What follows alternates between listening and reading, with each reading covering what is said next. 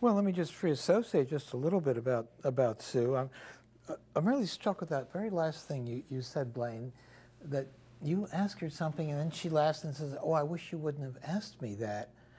Um, you know, just like to sort of meditate on that a little bit. What does that mean? I mean, ordinarily, if you ask a patient a question that evokes things, they, they're, in one sense, they're grateful for. Mm-hmm, you're doing mm-hmm, your, you're doing mm-hmm. your work. But she says, I wish you wouldn't have asked me that. What do you make of that? What, what does it feel like to you when she says that? Mm, that she's, she, she feels like she's being put on the spot a little bit, and she's having to look at feelings that she, she, de- it, I feel like there's this untapped area of feeling that she's hesitant to go there. And, and, if I ask a question which sort of opens up the lid there, she, she starts feeling that and she resists it.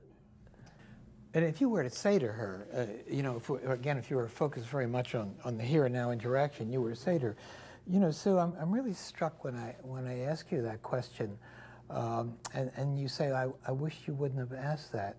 Uh, I, I'm thinking what that means to you. It, it, it, makes me think that, that this is really hard for you, uh, that it's a, it's a painful thing. There are things that it's very difficult for you to talk about. Is that what you mean by it?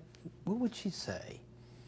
She would, she would say, um, yeah, I don't like looking at this. I thought I'd put these feelings to bed years ago, and, and I, uh, it's hard for me to, to, to bring them up again because for years I suffered with you know, really low self-image and um, starting with my childhood and then through my marriage. And for me to take an honest look at some of this, it's, it's hard. It, it, it brings up old yeah. feelings.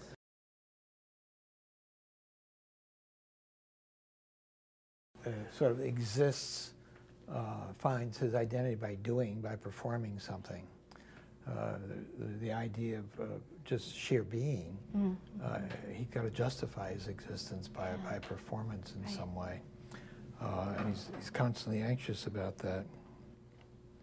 You know, I'm, I'm just thinking as you're talking about uh, uh, someone that I saw in consultation just a couple of weeks ago. He came from another country, was just here briefly, and I saw him for a couple of hours and I, I won't go into the whole story, but, but what was happening with him is that he had lost a very close friend.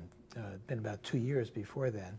But since then, this was a, a man in his 50s, and since then, he has, he has been very frightened of doing so many things that he could do with ease before that everything felt dangerous to him, even swimming or skiing. And so he, there was a lot of um, sort of manifest death anxiety uh, which is not unusual uh, when um, you lose someone. I mean, um, one of the aspects of grief that we don't often explore uh, is the fact that part of grief is that it's a confrontation with your own death.